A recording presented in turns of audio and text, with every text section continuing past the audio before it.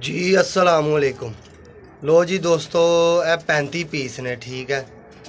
ਜਿਸ ਦੋਸਤ ਭਰਾ ਦੀ ਸਮਝ ਚ ਰੇਟ ਤੇ ਪਰਿੰਦਿਆਂ ਨਾਲ ਰਾਬਤਾ ਕਰਕੇ ਲੈ ਸਕਦਾ। ਟੋਟਲ ਨੇ 35 ਪੀਸ। ਲੋਕੇਸ਼ਨ ਲਾਹੌਰ ਬੱਤੀ ਚੌਂਕ ਹੈ, ਨੰਬਰ ਮੇਰਾ 0302 1782 762 ਕਾਰਗੋ, ਆਲ ਪਾਕਿਸਤਾਨ ਆਪਰ ਡੋਗਰ ਲਾਹੌਰ ਬੱਤੀ ਚੌਂਕ।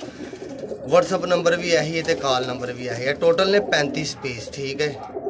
ਤੇ ਜਿਨ ਦੋਸਤਾਂ ਨੇ ਚੈਨਲ ਨੂੰ ਸਬਸਕ੍ਰਾਈਬ ਨਹੀਂ ਕੀਤਾ, ਚੈਨਲ ਨੂੰ ਸਬਸਕ੍ਰਾਈਬ ਕਰ ਦਿਓ। ਲਾਹੌਰ ਪਿਜਨ 86 ਲਾਈਕ ਕਰੋ ਸ਼ੇਅਰ ਕਰੋ ਕਮੈਂਟਸ ਕਰੋ, ਠੀਕ ਹੈ। ਲਾਹੌਰ ਪਿਜਨ 86 ਤੇ ਚੈਨਲ ਨੂੰ ਲਾਜ਼ਮੀ ਲਾਜ਼ਮੀ ਸਬਸਕ੍ਰਾਈਬ ਕਰਨਾ, ਠੀਕ ਹੈ। ਲਾਹੌਰ ਪਿਜਨ 86 ਟੋਟਲ 35 ਪੀਸ ਨੇ। ਲੋਕੇਸ਼ਨ ਮੇਰੀ ਲਾਹੌਰ ਬੱਤੀ ਚੌਂਕ ਹੈ। ਨੰਬਰ ਮੇਰਾ 0302 1782 762 ਕਾਰਗੋ ਹਾਲ ਪਾਕਿਸਤਾਨ ਆਬਟੋਕਲ ਲਾਹੌਰ ਬੱਤੀ ਚੌਂਕ। WhatsApp ਨੰਬਰ ਵੀ ਇਹੀ ਹੈ ਤੇ ਕਾਲ ਨੰਬਰ ਵੀ ਇਹੀ ਹੈ, ਠੀਕ ਹੈ।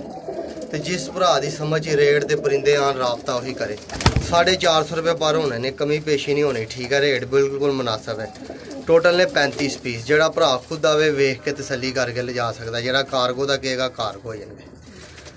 ਤੇ ਜਿਸ ਭਰਾ ਦੀ ਸਮਝ ਚ ਰੇਟ ਪਰਿੰਦੇ ਆਣ ਰਾਬਤਾ ਉਹੀ ਕਰੇ, ਠੀਕ ਹੈ। 450 ਰੁਪਏ ਪਰ ਹੋਣੇ ਨੇ, ਕਮੀ ਪੇਸ਼ੀ ਨਹੀਂ ਹੋਣੀ। ਟੋਟਲ 35 ਪੀਸ ਨੇ, ਜਿਹਨੇ ਲੈਣੇ ਨਾਲ ਰਾਬਤਾ ਉਹੀ ਕਰੇ 5 10 20 ਵਾਲੇ ਰਾਬਤਾ ਨਾ ਕਰੇ।